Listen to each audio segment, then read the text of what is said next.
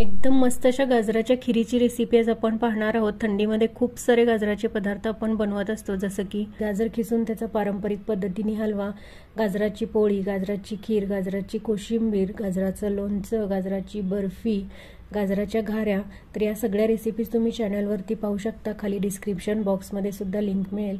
Recipes आवडल्या तर जरूर लाईक आणि शेअर करा. पण या सगळ्यामध्ये बनवायला खूप सोपी आणि खायला खूपच भारी अशी ही खीर बनते. चला मग बनवूयात गाजराची खीर. तर यासाठी अर्धा किलो इतके एकदम फ्रेश असे गाजर मी घेतलेत. स्वच्छ धुवून त्याचे देठ आणि मूळ काढून टाकायचे आणि त्यानंतर हे गाजर आपल्याला खिसून घ्यायचे आहेत.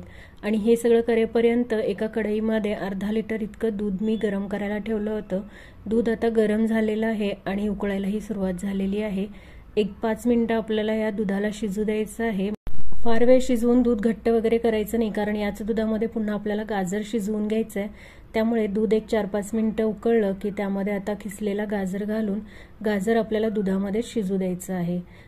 गॅसची फ्लेम लो टू मिडियम ठेवून आता मी याला चांगलं दहा मिनटं शिजू दिलेलं आहे. दहा मिनिटानंतर दूध छान दाटसर होतं आणि गाजर मस्तपैकी मऊ शिजतात. पण एकदा आपण याला चेक करणार आहोत. कारण यानंतर आपल्याला याच्यामध्ये साखर घालायची आहे. साखर घातल्यानंतर गाजर व्यवस्थित शिजणार नाही. त्यासाठी त्याआधीच आपल्याला गाजर अशा प्रकारे चेपून एकदा चेक करून पाहायचं आहे. गाजर शिजला नसेल तर पुन्हा दोन तीन मिनिटाला शिजवायचं आहे. आणि जर शिजला असेल व्यवस्थित तर यावेळेस आपण याच्यामध्ये साखर घालणार आहोत. तर अर्धा किलो गाजर आणि अर्धा लिटर दुधासाठी इथे मी थ्री फोर्थ कप म्हणजेच सव्वाशे ते दीडशे ग्रॅम इतकी साखर घातलेली आहे. तुम्हाला जास्त गोड हवा असेल तर तुम्ही थोडीशी जास्त घालू शकता किंवा कमीही घालू शकता. सोबतच थोडीशी वेलची पूड घालून सगळं व्यवस्थित मिक्स करायचं आणि पुन्हा थोडा वेळ आपण याला मीडियम फ्लेमवरती शिजवणार आहोत. साखर विरघळली की त्याचा पाक होतो आणि मग पुन्हा खीर थोडीशी पातळ होते. त्यामुळे तुम्हाला जशी खीर हवी आहे दाटसर पातळ त्यानुसार तुम्ही थोड्या वेळाला शिजवू शकता.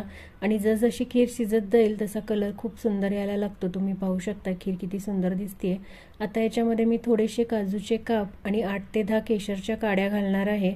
ड्रायफ्रुट्स तुम्ही वेगवेगळे सुद्धा वापरू शकता आवडीनुसार. केशर घातल्यामुळे रंग तर छान येतोच खिरीला शिवाय सुगंधही मस्त येतो. त्यामुळे थोडी केशर जरूर वापरा.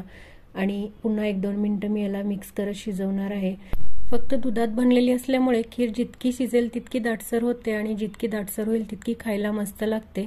पण थंड झाल्यानंतर खूपच जास्त घट्ट होते त्यामुळे आता मी गॅसची फ्लेम क बंद करून खिरीला थंड होऊ देणार आहे.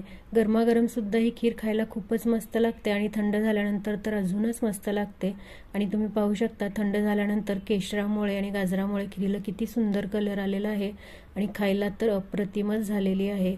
मग ही मस्त अशी गाजराची रेसिपी तुम्ही ट्राय केली नसेल तर जरूर ट्राय करा. रेसिपी कशी वाटली मला कमेंट करून सांगा. रेसिपी आवडली तर जरूर लाईक शेअर करा. पुन्हा भेटूयात नवीन रेसिपीसोबत तोपर्यंत बाय बाय